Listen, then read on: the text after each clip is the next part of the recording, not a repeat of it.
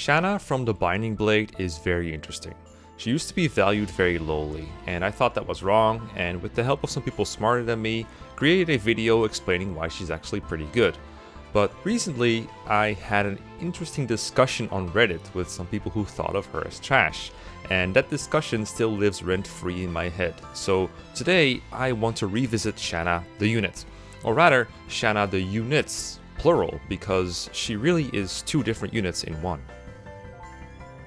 Because I wanted this video to be more than just theoretical number crunching, I revisited the Binding Blade on hard mode and tried to train Shanna without overly favoring her. I sped the footage up for this video, but I'll put the full playthrough up on my second channel if it doesn't fit in this one, if you want to look at it more closely. I wouldn't call this an efficient playthrough by any means, I just tried to play safely as if I was doing an Iron Man without actually doing an Iron Man. I tried to get all the side objectives, that wouldn't require massive slowdowns, and basically I was just trying to play how a casual hard mode playthrough would go for most people who have played FE6 before. So why did and do people think Shanna is bad in the first place? It's mostly because during the character creation, Shanna put all of her points into three stats, speed, luck, and mobility. Every other stat of hers is either bad or below average at best, both in terms of basis and growths. Most people are willing to put up with a Pegasus Knight that has low bases, whether it's because they enjoy the process of training a weak unit into a strong one, or because they think her flying utility is good, or just because they like them as characters.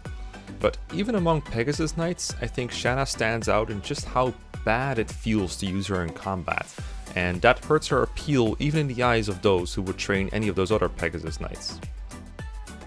Now I was aware of all this when I made my Pitfalls video on Shanna uh, and trying to show how underrated she was, so let's recap the proposition I made there.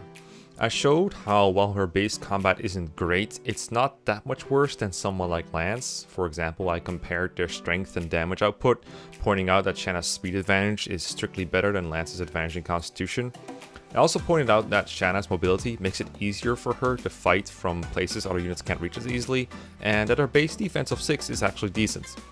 All these things are true, and I stand by them individually, but I do think I overlooked some things that I'll get into a minute once I'm done recapping.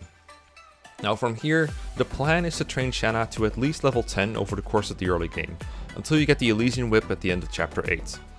In my playthrough, for that video, I managed to get her there comfortably, and while more levels than just getting to 10 are nice, they aren't necessary.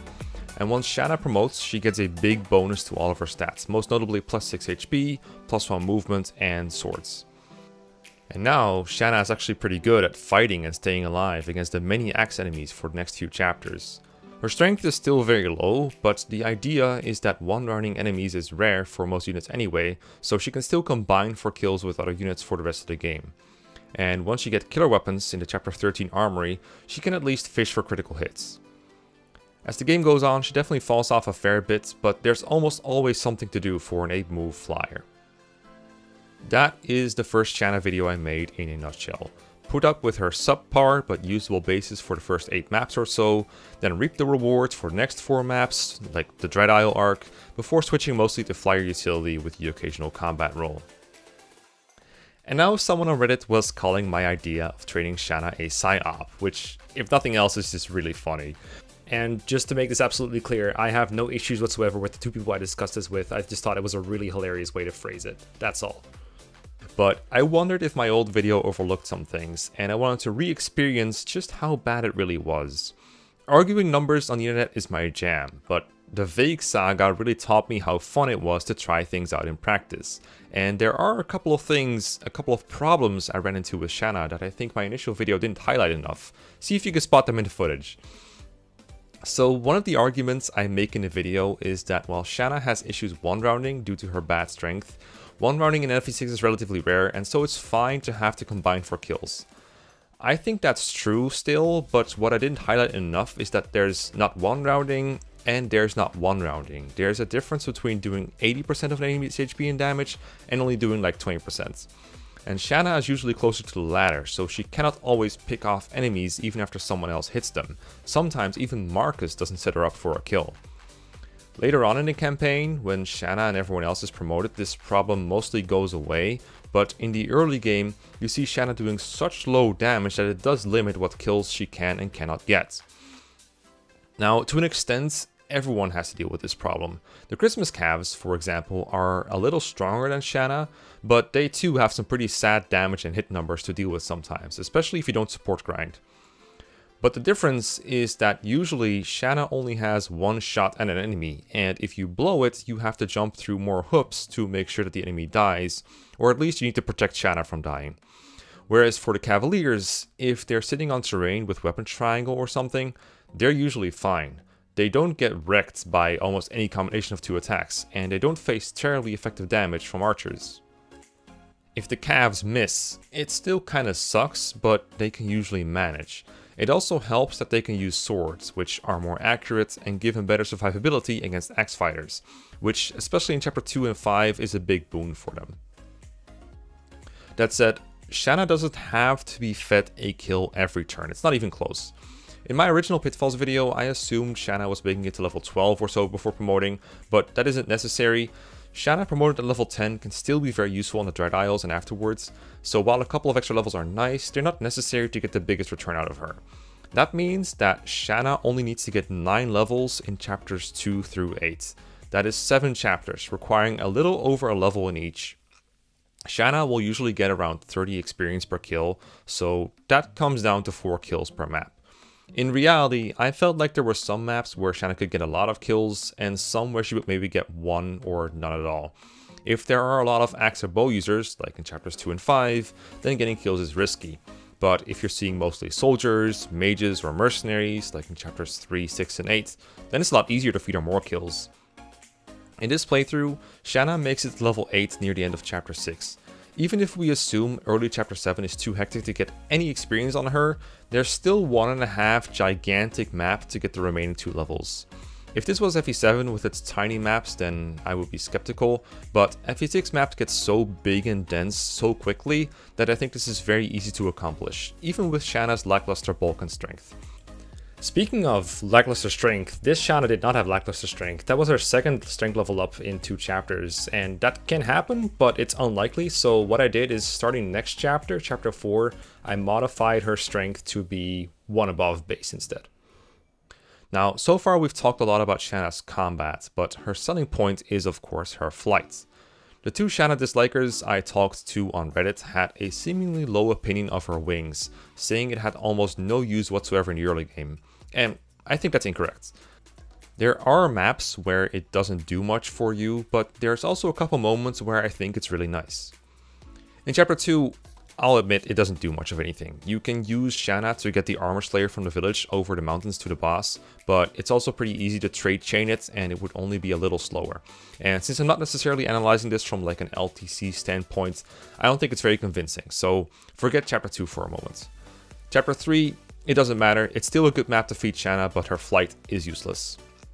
Chapter 4, I think it's very useful because it lets you airdrop a unit you don't need for combat onto the southern fort to stop a pirate from spawning. You can have Shanna block the other reinforcements, or you can just let it spawn and fight that first unit. Either way, you no longer have to fight the pirates on the beach, and you can focus all of your attention on the cavaliers. In the footage, I screwed up the drop because one of the spawn points was at a different spot than I thought it was, and I should have looked it up right before I did it, but it still turned out fine. And after you've done that, you can have Shanna grab the Angelic Robe from the bottom village, maybe visit the shops, and as long as the pirates are blocked, you can usually regroup with the main squad safely. But again, you could just spend a couple of extra turns grabbing the robe village, as long as it doesn't get you in trouble with the cavalry reinforcements from the back. Chapter 5 has a lot of terrain, but seemingly not a lot of great ways to use Shanna. You can try going through the left door to rush the gate, but that is so difficult to do without a pre-planned strategy, since you spawn a bunch of extra enemies doing so. You have to deal with brigands getting up to peaks, throwing hand axes at you, you have to fight more of these fast nomads. It's really annoying, so in my experience, most people go through the top area, the long way around. I've seen some people bring up that Shanna can get the village, but like it's not under any threat. You can get it whenever your 20 million force deploy units feel like it, so I don't think it counts. What I did in my playthrough I think is way more useful. You drop a good unit like Marcus or Rutger a little ahead of schedule, and they occupy a group of fighters making their way to you. This avoids a giant traffic jam near the first set of forts, and it lets you take care of those enemies first, and then let the next group come to you. I found this way more comfortable than the usual approach, and I recommend it to everyone, and I'm gonna start doing it in my playthroughs from now on. Chapter 6 is a lot like Chapter 3, it's another training chapter for Shanna with no flight utility. However, I will also say that while it is easier to feed her one soldier than it is to feed her one fighter, when these soldiers are clogged up, like they are here in Chapter 6, it's still fairly difficult to get her more than one kill per turn, especially since her lower strength means that she often has to take counterattacks as she needs to double in order to kill, or double in order to safeguard against missing, so that's just a side note. In Chapter 7, I like that Shanna can help with the rescue drop on Roy to get in range of Jared. I'm sure you can do it without her, but it's nice that she ignores the force near the starting point, and she can use the less desirable deployment slots for herself while other units can get the better ones. Is what I would say if I stuck to my original script, but you can see in the footage that instead I used Shanna to trade Marcus's items around and then use two other units to drop Roy, but she can do that too. It also works nicely with my turn 1 plan that sends the Christmas Cav to the left to hold the choke point left of the arena, if you haven't seen this plan before, I have a whole video on chapter 7 that explains the best opening uh, for the first couple of turns. Uh, that really makes the chapter a lot easier in my experience. In chapter 8, there is once again no terrain, it's an indoor map except there's a couple pillars. I do think that even though Shanna's flight doesn't matter in these maps, her 7 move, canto, and the ability to rescue drop absolutely does. Being able to reposition player units after they've moved is just super useful in all the maps Shanna is in, but especially this one because there's so much terrain to cover, or so much ground to cover, I should say. We do already have several other units that can do that, like Marcus, Clarine, and the Christmas Cavaliers, but freeing up one of their turns in exchange for Shanna's is a good deal, and in outdoor maps, Shanna is the best at this. Alright, so once we get to the end of chapter 8, there will be two types of people. Those who have trained Shanna and want to promote her now, and those who didn't train Shanna. And the big central question to this video is who is better off? Is the early game investment of feeding Shanna and keeping her safe worth the payoff of one move extra, swords, and just better mid-game combat? Or is it better to keep Shanna untrained and use her 7 move wings instead when required? For the record, I'm not 100% sure which of these two options is the better or the recommended or the easier way. What I can tell you is the fact that an unpromoted, untrained Shanna still has some utility in the mid game makes her better, not worse. Until Thea joins, she is still your only flyer, and she can still provide useful rescue drop utility. In chapter 8x, you have this gap in the middle that you can drop units over. It doesn't just save you turns, but also tedium, and this time you can instead spend with your loved ones instead of watching lava pillars. In chapter 9, there is this one tile wide gap you can drop Rutger over to give him a head start in the map.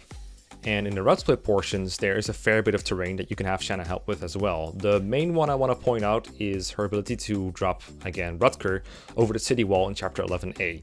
That way you can fight the enemies near the villages quicker and it makes it easier to beat the brigands to visiting them. Now I'm not gonna lie, Shanna peaks during the Dread Isle arc. After most axe users disappear, her combat gets relatively worse, and she no longer has a monopoly on flying. First of all, Thea joins. I've done elaborate comparisons between Thea and Shanna in the past, and I've always found Thea pretty mid. But in hard mode, she does have the same strength at her base level of 8 as Shanna can be expected to have at this point. That's not good, you know, but it says something. Thea only needs 2 levels to get to become Shanna 2.0 with worse speed and luck, but slightly better strength and bulk. The two levels that Thea needs sound like a lot less than the 9 that Shanna needs, and numerically that's true, but Thea needs to get them in a much more hostile environment. While Shanna's deployment was free, or practically free in the early game, Thea is competing with a lot more units for a slot, and usually most of them will be better than her, at least while she's still training. And Thea will never have the Dread Isle payoff that Shanna did, so I think Thea is not only worse than Shanna, but pretty mid in general. The bigger competition is, of course, Milady, because she has both the best mobility and arguably the best combat in the game. But I think class by class, or in this case, flyer by flyer comparisons, are a pitfall. Milady does better than everyone else, including Shanna, but does Milady actually devalue Shanna? Does her existing make Shanna worse? Or does Thea, for that matter? I see flying utility as similar to thief utility. The more unique it is, the more valuable it is because there are less alternatives. Basically, the laws of supply and demand. All these flyer only tricks I've shown were Shanna only, but for any of those tricks in future maps, she has to share the credit with these other flyers. So in that sense, yes, I do think Milady and Thea being there devalues Shanna. That said, I still think there's a lot of value in having multiple flyers in a lot of maps. The big one is chapter 14, the desert chapter, where there's always going to be demand for a flying unit to transport other people around on any given turn. You don't necessarily want Milady to be doing that when she could spend her turn using stat boosters, fighting enemies, or healing herself. But even in other maps, it's just nice to have access to a 8 move flyer, even if it's not essential. Shanna can still do a lot of these duties with 7 move and no training, of course, or you can replace her with base level Thea or Zeiss, but their flexibility will be significantly hindered. 7 and 8 move don't seem that different on paper, but they just add up on these big maps, especially on units with Canto. And in Shanna's case, having her trained to survive an extra hit can also let her do a lot more. After chapter 16, you also have Zeiss. He's probably the easiest unpromoted flyer to get to level 10. I think he's way less painful to train than both Shanna and Thea. From there on out, I think the only map where she really stands out is chapter 21, where you can use your flyers to transport people over the mountains to avoid reinforcement zones. And you also might have Yuno for that. Honestly, a trains Shanna's biggest contribution after chapter 16, in my opinion, is the next 5 maps you play you either go to Ilia or Sacae, depending on whether you gave more experience to your Pegasus Knights or your Nomads. Ilia is usually considered easier than Sacae, so that's where we want to go. A fun little side tangent. In the past, when Shanna was considered bad, the assumption in unit debates was usually that the player went to Sacae because the Nomads were better than the Pegasus Knights, and also the Wyverns were better than the Pegasus Knights. And sure, they arguably are, but putting up with 5 worse maps over it just seems painful. Nowadays, most people want to go to Ilia, which generally means you can't afford to use Shin. And that sucks, because Shin is really good. He's got a great combination of strength and speed, he's very mobile, and bows are a nice weapon type to have in FE6. Training Shanna allows you to use Shin almost as much as you want.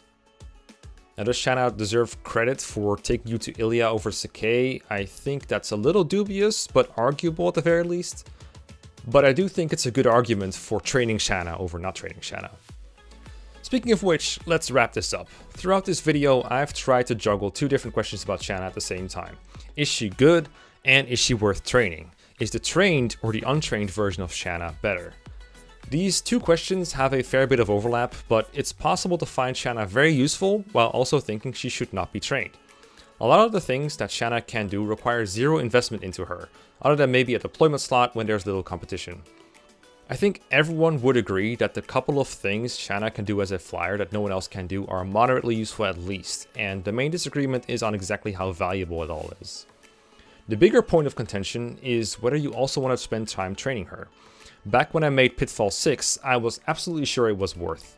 Now, I'm less sure. It's not that there's not enough experience for her, I don't think she takes away a significant amount of XP from the Christmas Cavs or Rutger, but it's not zero cost, it takes some dedication to get her those kills.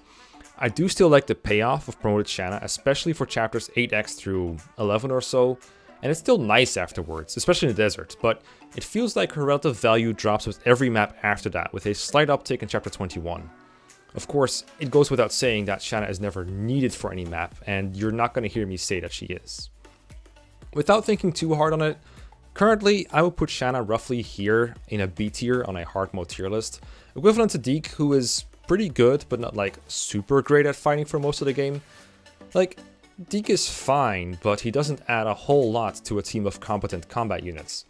On the other hand, I know that some people would rank her higher, Someone whose opinion I generally respect told me they would put her above Rutger, though that's also partially because they just don't think Rutger is that great.